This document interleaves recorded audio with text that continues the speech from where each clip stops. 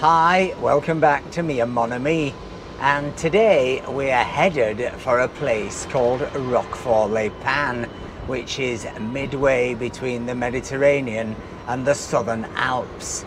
And we are going to stay in an electric vehicle friendly gîte.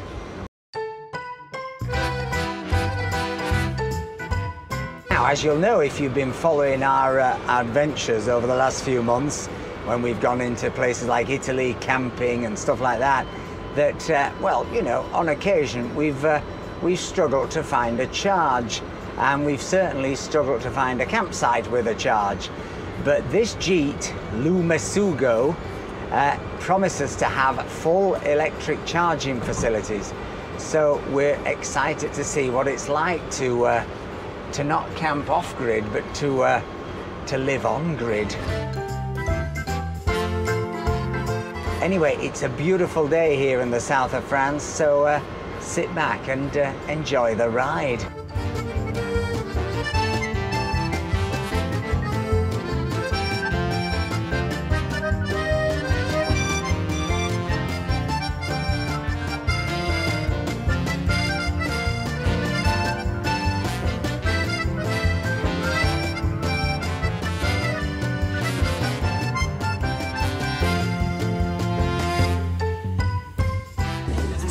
Boo insisted that we stop for a trendy coffee in Cagnes-sur-Mer. And actually we've come across this place called the Copenhagen Coffee Lab.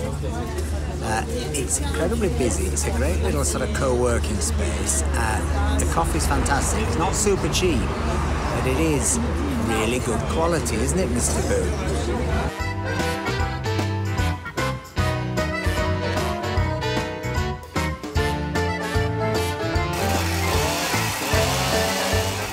Oh, look, Mr. Boo, it's the tree man of Cagnes-sur-Mer.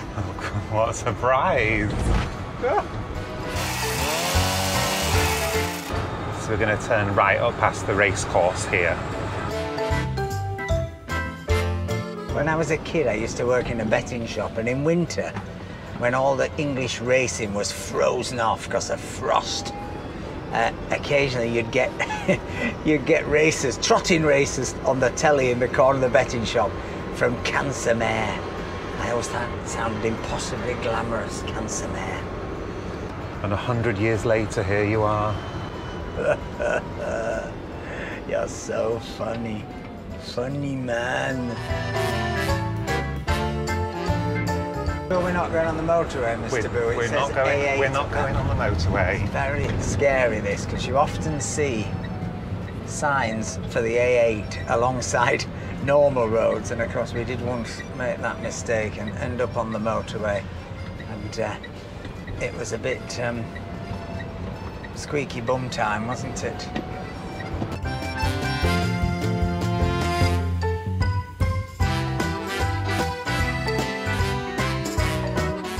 intrigued by this little building here, Mr. Boo. Look at it. I think it's an old electricity substation. You see quite a lot of them in, on the other side of the border in Italy, don't you? Yeah. But not so many in France. I go around the roundabout Yeah. and through the tunnel. Yeah. Through the dark tunnel. Ooh, scary. This looks quite an old tunnel, doesn't it? The Tunnel de Villeneuve. Spooky. Spooky tunnel.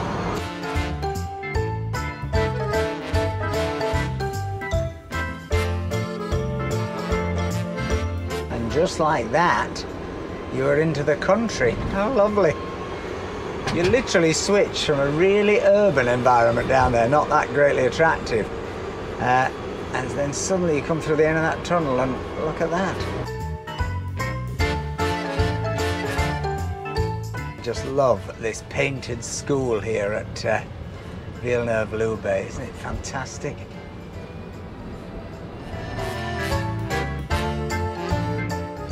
We spot our first sign for Roquefort Les Pins and Grasse. Chateau Neuf de Grasse is where the great film actor and rather, rather good writer Dirk Bogarde lived for many, many years before it was kind of fashionable to, to live in this area.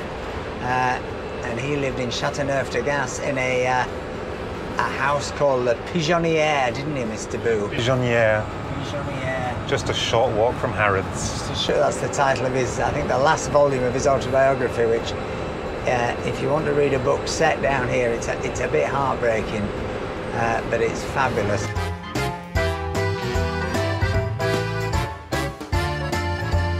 And it's interesting, we're now about to go onto a patch of road which is 70 kilometres an hour, and people are often saying to us, you know, what's it like when you, your top speed's 45 and pe- other people can go at 70 and there's a giant truck behind us? Well, you're going to find out.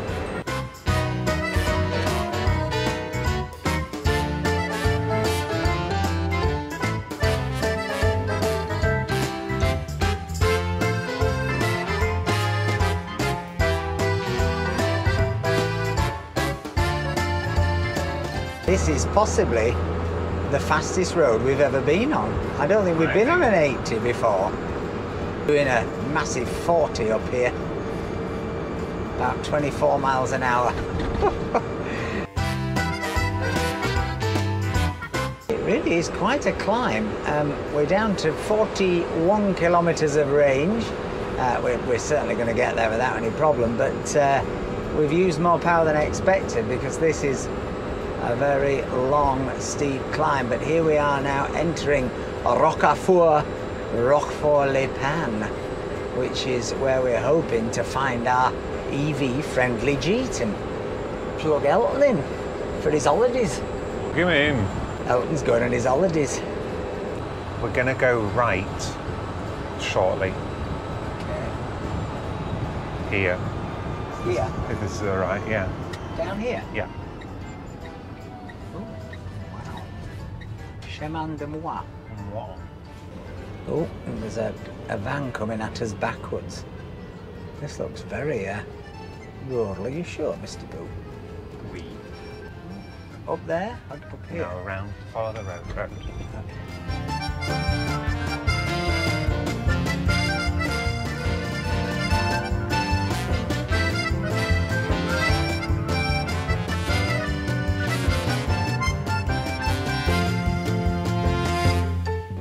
Lovely in here. Isn't it? It's like a little Hamlet. The Mild Cigar by Benson and Hedges. Do you remember that advert? No. It's a cracker. You're never alone with a strand. I miss cigarette advertising, don't you?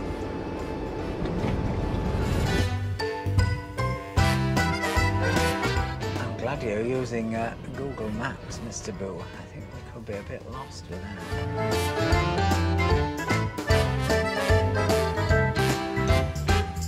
Just in here. Oh, Messugo there. You're not looking on the signs like what I am. Good job we can turn on a sixpence or a five centime, as they say in France.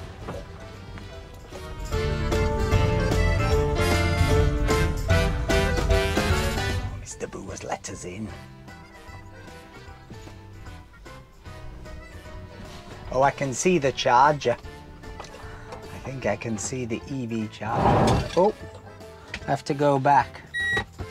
Elton's having a bit of a struggle with the gravel. I have to say, Elton's not a fan of gravel. Is he? Not a fan of gravel, Elton. We've had gravelly problems before.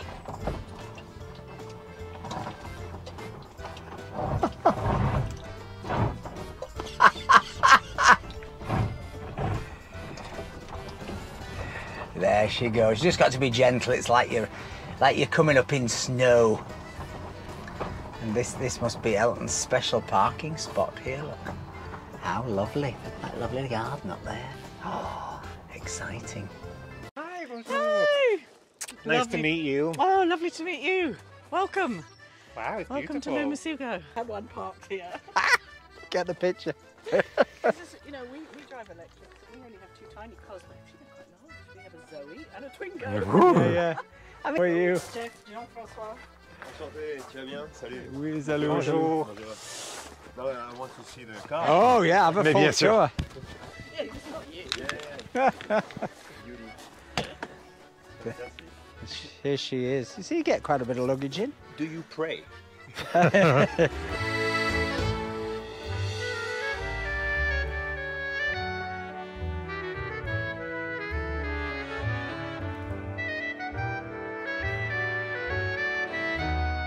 What is a gîte, technically? What's the difference in a gîte and a villa or a gîte and a hotel? A gîte is self-catering, nearly always, although there are some that the owners will provide food, but nearly always it's a self-catering apartment or house or cottage or but it's it's mainly the self-catering. Right. And does the owner usually live nearby? Is that is that part of the gîte thing or not I think probably yes. I think there'd be there aren't that many that would describe themselves as gîtes, but um, have an off-site owner. I would Right. say mostly the owners would be close by. Yeah, cool. in in the same complex or at least in the same sort of village or Yeah. something. Yeah. So here we go. This is the we go. the living room. This is lovely. With a welcome folder of information, all sorts of great stuff you need to know in there. I noticed you've got a lot of great information because you've also got a blog, haven't you? Yeah, which I've been writing for uh, 10 and a half years. So Right. there's a lot of information. yeah. You've even been to more places than we have. Uh, yeah, I've been, you know, we've, we, we arrived here when our youngest was two and our Right. oldest is now 23. So we've sort of done the whole toddler stuff and, all, you know, children, teenagers, young adults, and old adults. Not that. well, you know. Anyway, so yeah, you have um, your own private terrace out here. Gorgeous. with a barbecue, Into some the sun, sun. loungers. Let's point out that it is mid-October here. I know. Still in t-shirts. It's mid-October and it's uh, Yeah. it's tannerific, isn't it? It's just gorgeous weather. This is a real sun trap terrace. This, Yeah, and even in midwinter, you can eat out for lunch in the bright sun here. Yeah. Um, there's a hammock and petanque at the end, and a trampoline if you're so inclined. Feeling bouncy. and ha- up that hammock's the top got my there is name the on it. pool, which at this stage is closed, but you're welcome to go and look at it. Yeah. And if you if you're into cold water swimming, I guess you could have a swim. But Pool's open most of the year. It's open weather dependent because it's not heated, so Right. it tends to stay open um, until about now, but Yeah. definitely till the end of September. Um, so in here, actually, this is a sofa bed which opens out to be a 140 regular sized double bed, flat bed. So Right. It's a pretty comfortable sofa bed, and we get lots of Families. families. Yeah. So you could accommodate what four? Four, yeah. Yeah. Um, this is a combination uh, oven. It's not just a microwave. Right. And we provide tea, coffee, spices, oil, vinegar, that sort of thing in there. Behind here, you've got um, dishwasher and a fridge with Cool. um, little welcome Oh, milk so that you can have your cuppa. Milk and wine, the two with, you know, essentials. absolutely. nice bathroom. Nice little sink. And then the bedroom, which um, Lovely. Lovely light coming in. Yeah, it gets the morning through to, so that's east, so it gets all the morning light. Um, Yeah. If you like it dark at night and dark, it's very dark at night here, there's no street lighting. But if Oh, you like it even darker and dark in the morning, there are shutters, of course. All right. Then here we have, look, this is us here, this little star right in the middle of this map. And basically everything here in a normal car is half an hour, within half an hour. Right. So that's the VAR and therefore the airport's just there. Yeah. Then you've got the whole Cagnes-sur-Mer, Villeneuve, that's the beginning of Antibes, um, Mougins. Up here. Grasse is only 20 minutes. Gourdon. Have you been to Gourdon? No. Oh, well, that's fantastic. Anyway, all of that, like literally, um, within within 30 minutes. So it's a great place to base yourself and tour. Really, And not really just a car, you could cycle, couldn't you, if you Yeah, were cycling? it's a great cycling area, and it's a wonderful place for an ami. Not. It is. Well, it is, but it's very hilly, as you can see from the. Yeah, you go slowly, but Oh. uh, we like a hill challenge. yeah.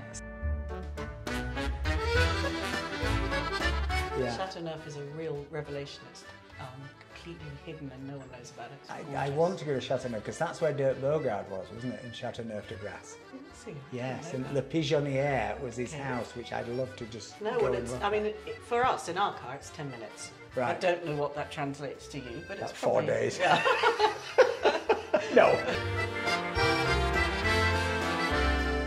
And of course, the magic bit distance. you have here is if you were to come to this gîte in an electric car, we have charging. you Yeah. have charging. Do we you want to show us it? Sure. We Um, have two plugs. This is, Um, I mean, I can't tell you, we, we stayed somewhere in Italy, which we absolutely loved, but they literally looked at us like we were crazy when we said, Have you got an electric charging? Kind of can't be closer. That's there. I do have to yeah. keep cutting back the rosemary because it's kind of takes over, and the, when the lavender's in bloom as well. But there's one there, Yeah. and there is another one there, so that we can charge at the same time. Electric car, they are Right. actually for charging, and they deliver more than. Don't ask me the technicalities of it, but they deliver more than a standard domestic plug. Right. But they're not a supercharge, you know, they're Yeah, not super yeah. fast. So ideally, um, guests charge overnight, as we do, because also we have um, off-peak electricity at night. Right. But it, you know, they, they, yeah, knowing like you, driving electric car, it's just so convenient to have it right there. Yeah, yeah. Not have to go off into Yeah. town or. Rockville does have four points, which is not bad, but Yeah. um, But still in season, Yeah. they, they could be quite Yeah. busy, couldn't they? and I- yeah, it's right there. I mean, I think increasingly it's crazy if people don't have the facility to charge, even if they charge their guests for the electricity. It's Yeah. just the convenience, Oh, isn't it? it's totally the convenience, totally. It- because it- you know, it can take. I don't know how long yours takes to charge, and possibly not so Two long. and a but half you know, we've hours, had a car that does take quite a long time, longer than our current cars, and you don't want to just have to always try and find a coffee or Yeah, you know. yeah. Um, so this, yeah, do it while you're here overnight, Yeah. and for the moment, we do offer it free of charge because it's just part of the service. To be renewed, possibly if electricity goes mad. But you know,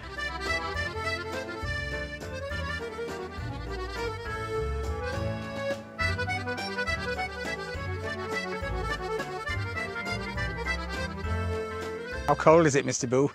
Dare we swim? It's refreshing. here's the thermometer. It's uh, 17. Oh, that's colder than the sea.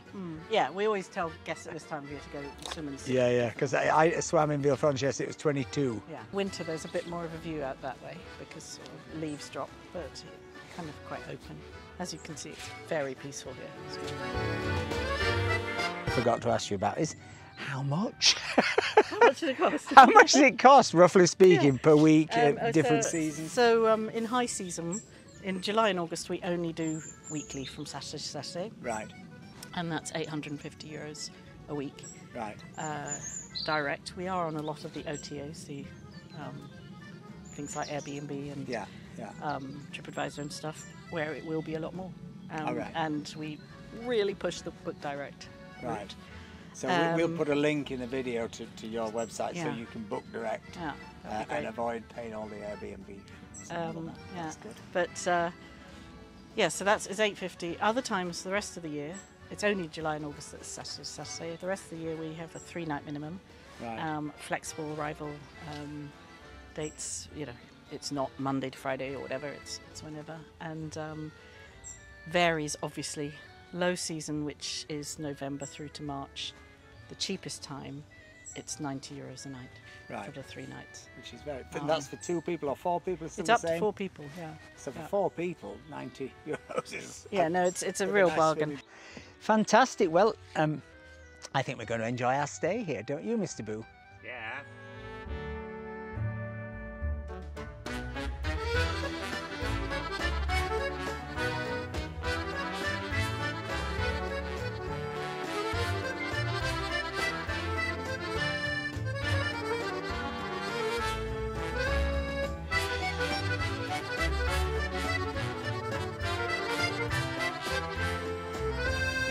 Hope you've enjoyed this video. If you have, please give us a like, uh, please give us a comment, and please think about sending us a coffee.